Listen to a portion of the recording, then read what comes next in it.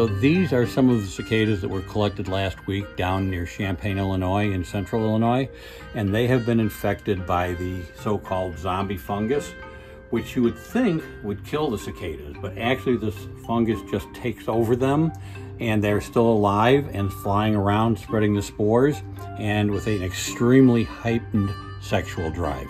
They become hypersexual and they just want to mate with any cicada they can find which is how it is passed on. When they try to mate, they pass the spores on to other cicadas. So it is basically uh, an, an STD. Only about 10% or less of the cicadas are going to get it.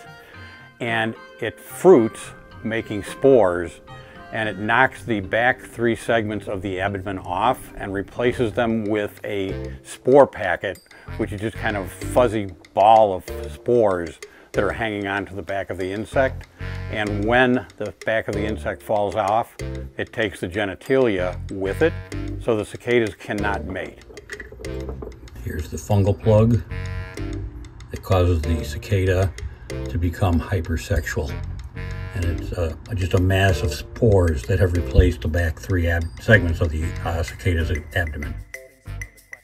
One of the things that's so cool about this is that this is one of those fungi that um, instead of being a mushroom, this is something that is infecting um, this, this living animal here, that it's buzzing around with that. And so as these cicadas are flying around, they're raining down spores on other cicadas. And so they've earned this nickname, the Flying Salt Shakers of Death, which is kind of a catchy um, name in my opinion. I think these are getting spread throughout time. I think they may have traveled with the cicadas probably um, as the cicadas dispersed to this area originally.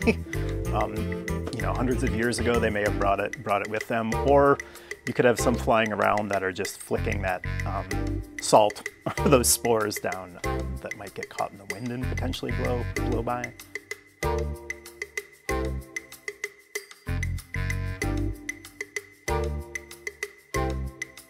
So a zombie apocalypse is not going to happen because of cicadas. The fungus that causes the so-called zombie cicadas cannot transfer to anything but periodical cicadas.